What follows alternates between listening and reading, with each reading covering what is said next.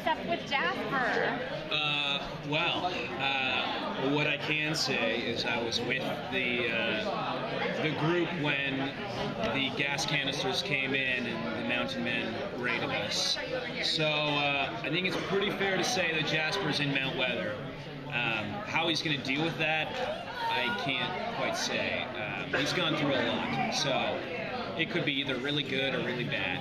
Does he have like post-traumatic stress from the experience? I mean, I think Jasper's had post-traumatic stress since he got speared.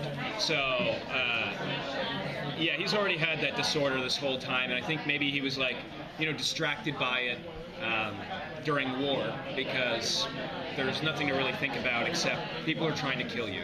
Um, so, uh, it's going to be interesting. It's going to be an interesting season for, for Jasper and for everyone.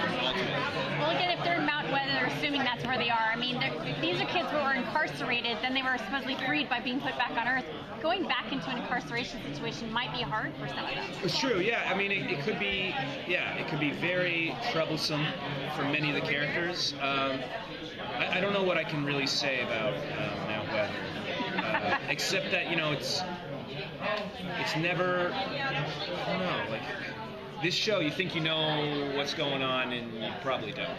So uh, that's that's all I can say about Mount Weather. But there's no time jump. You guys pick up right where we left. Off. Yeah, we're right where we left off. Um, and uh, yeah, from the clip we just showed, uh, Clarke is having a lot of trouble dealing with where she is right now. And uh, yeah, being incarcerated your whole life and then having freedom and fighting for your freedom and then losing it again uh, is, I, I couldn't imagine it. Um, but it would suck.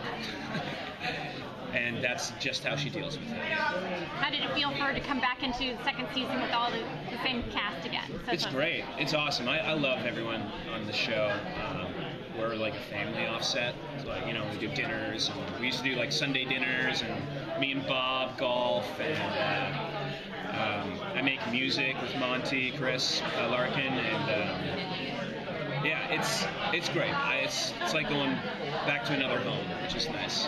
Was it easy to put back the skin of uh, Jasper? Yeah, you know, I, I love Jasper. He's he's pretty similar to to me. I feel like you know, aside from the PTSD thing, um, he's a lighthearted kid and likes to have fun and. Um, and yeah, it was cool to, to play that transition from this sweet boy to kind of this uh, nutcase who uh, becomes this unsuspected hero because of the courageous acts that he commits, which are ridiculously dangerous and stupid of him to do. So um, it's fun playing that part, but I, I always enjoy bringing back like you know that that heart that Jasper has. And I always say the reason he survived that spearing is because uh, nothing no nothing can uh, can beat Jasper's heart. You know, no spear can break Jasper's heart. Um, and that's corny. And I'm gonna go now. Kidding. I mean, how does Jasper react to his situation at the beginning of season two? hmm. I can't. I mean, how does see, he I- rise to the occasion? Or I, I don't know what I can say about that, but I, I mean, there's what I can't. I, maybe I can phrase it this way.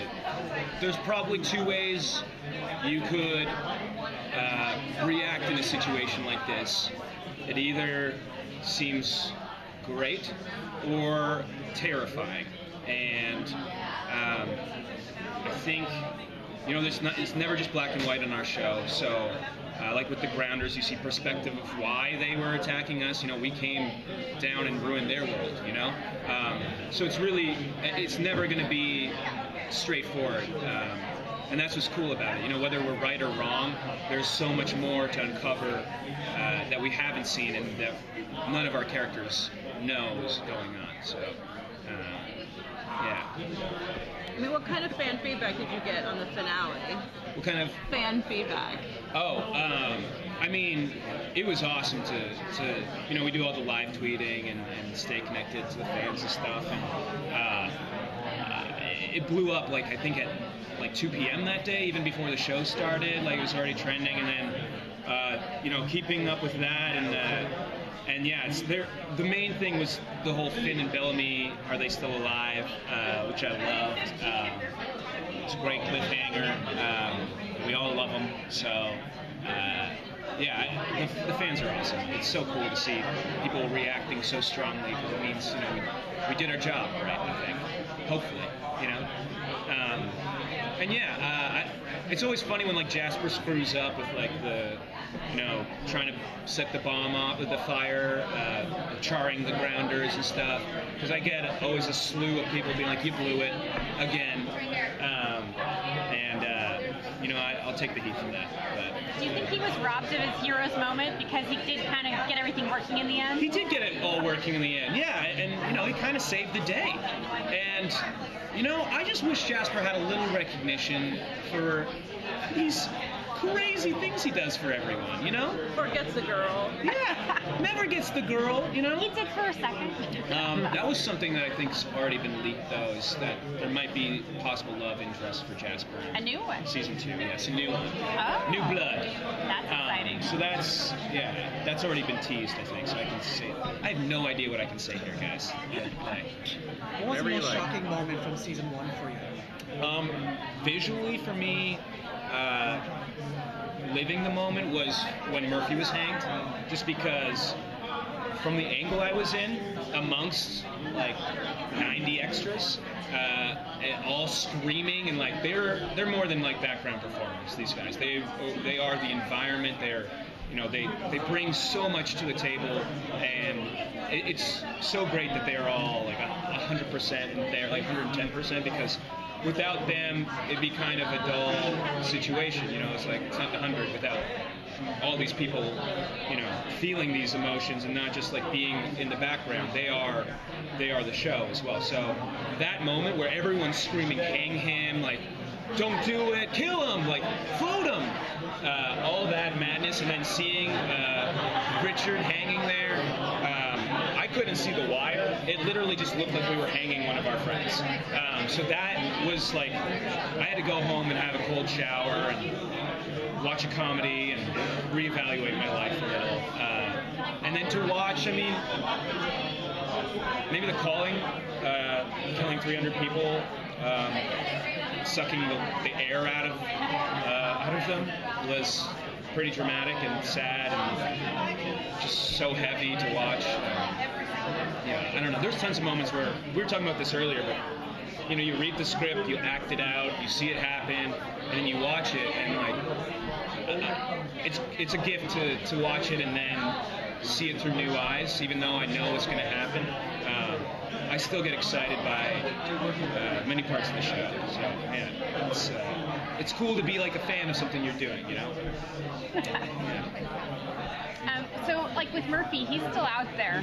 Are we going to necessarily see him interact back with the original 100? You know, Murphy's like a cockroach. I feel like you just can't get rid of him. Or, you know, you could stomp on him a thousand times and he's still going to be hiding behind the toilet. Um, yeah, he. I, I don't know what I can say about him, but like Murphy somehow survives everything. Uh, and uh, he's just a never, never-ending force of evil. But maybe we will see another side. I don't know. Uh, but Well, these that- kids are remarkably hard to kill, it, which is surprising. certain ones, certain ones are, you know, we've got a lot of, you know, we, we've got a lot to live for, and we've we've had three generations in space trying to preserve the human race, and so that's a huge weight on us as well. Is is that you know we've worked this hard, and our ancestors have worked this hard to keep the human race alive. Um, and then to be landed, litten to land in this area where there are other human beings, but they are nothing like us, um, and they've lived a whole different life, and then them clashing is it's cool to see history repeat itself. Why are going to tune into season two of The Hundred? I mean, I think what's so cool about season two is we're going to explore a world that we've never seen before, just like the first season. You know, we're going down to Earth for the first time. Um, with this, we're going to see what Mount Weather is, and within Mount Weather, there's so many corridors and twists and turns, and there's going to be things in there that will be very freaky. And, uh, and eerie. I don't know. Yeah, it's it's just cool that we're exploring new parts of the world, and I what I love about the show is that it's you know it takes place on Earth like we've never seen it before, um, and there's we're only in this small pocket.